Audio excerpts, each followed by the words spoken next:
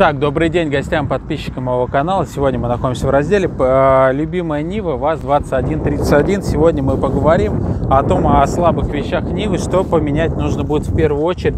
В первую очередь я советую э, Нива, я поменял в первую очередь, конечно, генератор. Он стоял на 80 ампер.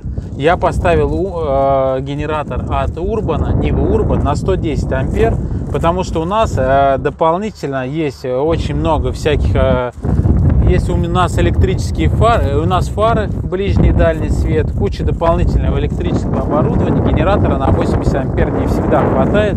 А здесь мы поставили на 110 э, на 110 ампер генератор вот этот неплохой и я забыл о всех проблемах сейчас реально все отлично работает то есть в первую очередь я поменял генератор потому что 80 ампер мне не хватало было дополнительно много Э, дополнительно всякого оборудования электрического у меня из-за этого не хватало, немножко аккумулятор разряжался. Итак, на сегодня все. Всем, кому понравилось, как всегда, подписываемся, ставим лайки.